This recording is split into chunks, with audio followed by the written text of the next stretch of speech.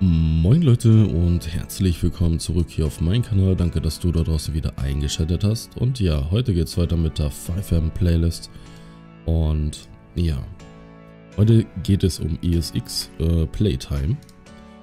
Was macht das äh, Skript? Das macht äh, so viel, dass ähm, er zählt halt die Sekunden, die Leute auf dem Server ähm, ja, gespielt haben und wie wir das Ganze installieren, ist eigentlich ziemlich simpel. Wir gehen so dazu einfach in den Resource-Ordner, ziehen Playtime halt hier rein. Ähm, Link ist natürlich wieder unten in der Videobeschreibung. So, jetzt ist noch wichtig, wir müssen den Ordner einmal öffnen, denn wir brauchen noch die normale SQL-Datei, denn ohne die funktioniert das Ganze nicht. Die kopieren wir uns hier und fügen sie einfach hier kurz einmal ein. Jetzt brauchen wir natürlich noch die Datenbank.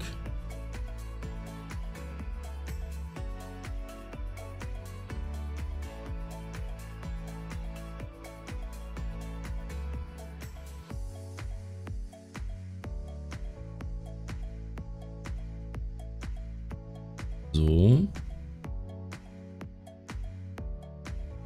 So. Gut. Ja, dann gehen wir einmal hier auf unsere Datenbank. Müssen uns hier noch den Namen rauskopieren. Und gehen einmal hier rein und sagen hier den Namen dann rein. So. Oder ihr macht das Ganze halt dann weg.